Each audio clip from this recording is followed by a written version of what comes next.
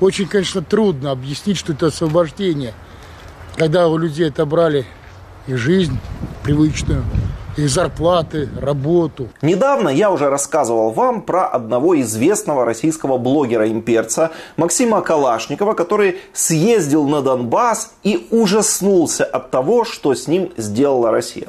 Так вот, вышло продолжение. Максим Калашников выпустил следующий ролик, в котором показал адскую жизнь в городах Донбасса, которая настала там после прихода русского мира, а также признал, что при Украине местным жилось намного лучше. Как вы думаете, как местные жители, попавшие вот в условия Кременной, Рубежного, Тошковки, Северодонецк, как они должны относиться к таким освободителям?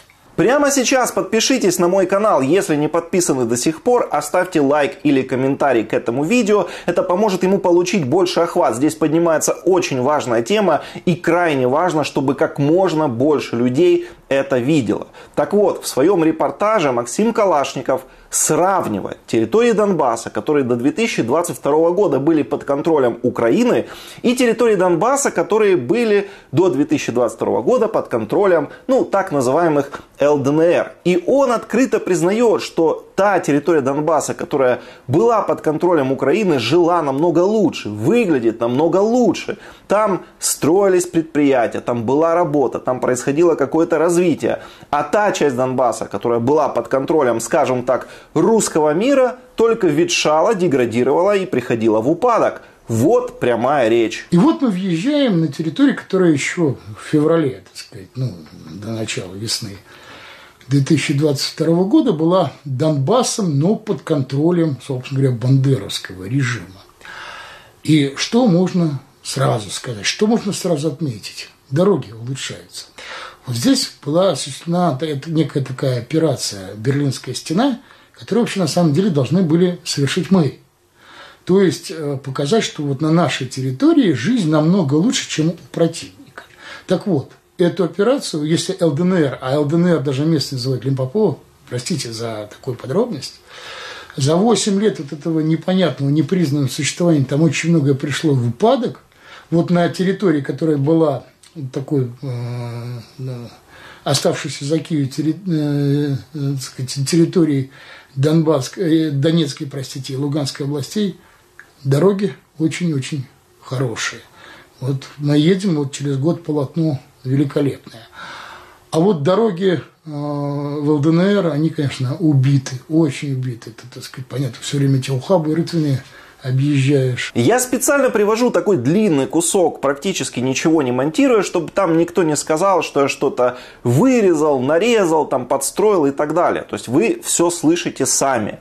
Российский блогер, патриот, имперец, который вообще-то был одним из идеологов этой войны, который считает, что Украину нужно уничтожить, что мы с вами не имеем права на свое государство, украинцы не должны жить там в своей отдельной стране. Так вот этот самый Максим Калашников признает, что вот оказывается те самые фашисты страшные, да, которые якобы там на словах притесняли Донбасс, там ущемляли как-то, на самом деле строили хорошие дороги, наладили какую-то достойную жизнь, то есть на той территории, которая была под контролем Украины, все было хорошо, никто не страдал, а вот та территория, которая была под контролем России, там как раз была нищета, деградация, там уровень жизни был намного хуже. Там людям жилось намного хуже, чем в так называемой фашистской Украине. Дальше там еще смешнее. Калашников признает прямым текстом, что российские военные, когда приходили на вот эту захваченную территорию Украины, они поражались тому, насколько там уровень жизни выше, насколько там больше порядка, насколько там все благоустроено, и даже в селах есть интернет. Вот на той территории, кто туда зашел, шел, да, они были поражены, да, вот если в ЛДНР, брошенных Москвой в непризнании, в некой, так сказать, э, между небом и землей, там приходилось выживать, то вот на той территории, в селах, интернет, а вот у школ стоят такие фигурки детей, здесь дети могут приходить, церкви, поля ухоженные. То есть обидно. Вот эту операцию Берлинская стена, кажется, проводили с той стороны, а не с нашей. Согласитесь, Это прекрасно. Годами российская пропаганда врала, что в Украине страшная нищета, Украина замерзает, разваливается, вымирает. Просто ужас, что здесь творится, в отличие от классной процветающей России, которая встает с колен и так далее – и вот, как только российские солдаты реально попали в Украину, оказалось-то, что все наоборот. Как только россияне увидели все своими глазами, оказалось, что в этой якобы нищей, вымирающей Украине, наоборот, уровень жизни-то повыше, цивилизации больше, благоустроено все гораздо лучше. То есть жители Донбасса здесь не страдали в каких-то ужасных условиях. Их никто не мучил, не притеснял, как утверждает российская пропаганда. А наоборот, им жилось здесь лучше. И российская армия принесла людям не освобождение, не процветание, как они утверждали это, а принесла только разруху, смерть и просто тотальное уничтожение всей жизни, которая была у людей. Вот мы добрались, конечно, до Кременной. Город, конечно, как там люди живут, не понимаю, ни работы, ничего.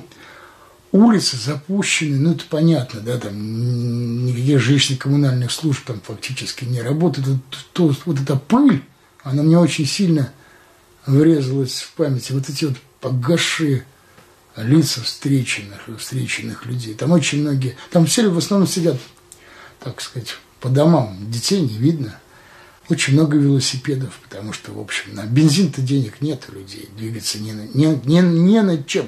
Как хорошо стало после прихода освободителей. Работы нет, денег нет даже на бензин, из-за чего приходится ездить на велосипедах. Все разрушено, все разгромлено, запущено. Спасибо, Россия. Хорошо помогли. Дальше было рубежное.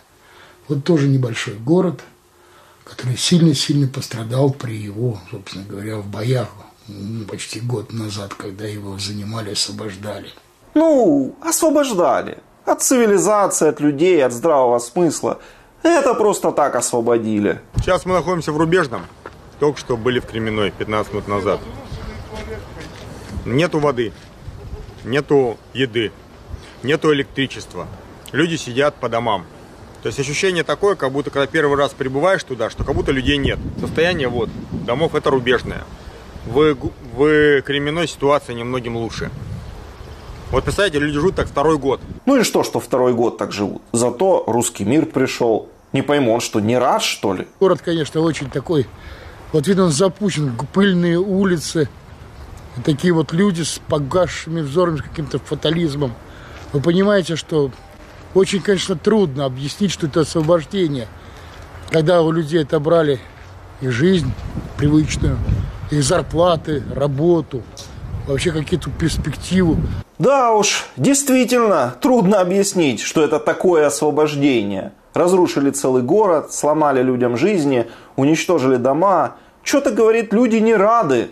Ждали, что придут, придет большая Россия, спасет а, научит как где покажет какое-то будущее. А нет никакого будущего. Пришли, так сказать, э, со, соответствующие кадры. Жизнь нищенская, там зарплаты иной раз по 12-15 тысяч. Многие люди сказали, а что нам Российская Федерация принесла? И поэтому у противника есть вот такая вот пятая колонна в тылу, что, в общем-то, неудивительно, ребята, неудивительно.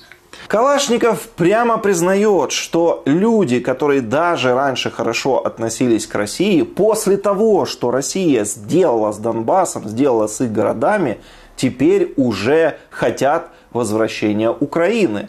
Калашников их называет пятой колонны. То есть, по его мнению, пятая колонна это просто украинцы, которые живут в своей стране, которых захватили, у которых все разбомбили. И вот они такие неблагодарные, представляете, ждут возвращения Украины. Ну, точно какие-то фашисты. Люди, которые, в общем-то, неплохо относились к Российской Федерации, они резко отшатнулись. Что вы с нами делаете? Зачем вы нам разбили город?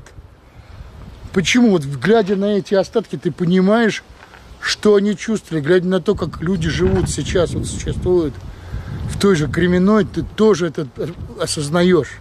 Странно. А Путин говорит, что в Украине все счастливы и благодарны за то, что Россия бомбит их дома. И жители Донбасса благодарят Россию за то, что она стирает их регион с лица земли. Продолжая вот так вот такую войну в таком, в таком духе, вы будете получать все увеличивающуюся ненависть на Украине.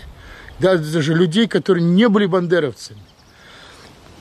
И уничтожать, как предлагают некоторые, так сказать, носители такой идеологии, ну, придется уничтожать миллионы людей. И ненависть будет все нарастать, нарастать и нарастать на самом деле. В общем, спустя полтора года войны российские патриоты стали что-то подозревать. До них стало понемногу доходить, что оказывается Россия вот таким варварским отношением к Украине, такими бомбардировками украинских городов, она не покоряет Украину, не возвращает ее под свой контроль, а наоборот, теряет Украину и украинцев навсегда. Все нормальные люди, вот все люди, у которых интеллект выше, чем у Швабры, они с самого начала говорили, что так и будет, что ну нельзя в 21 веке так тупо идти войной, стирать целые города с лица земли, это даст обратный эффект. Не получится восстановить какой-то контроль над Украиной, да, покорить украинцев. Наоборот, вы получите ненависть на поколение вперед. Вы получите пропасть. Все, Украина будет потеряна навсегда.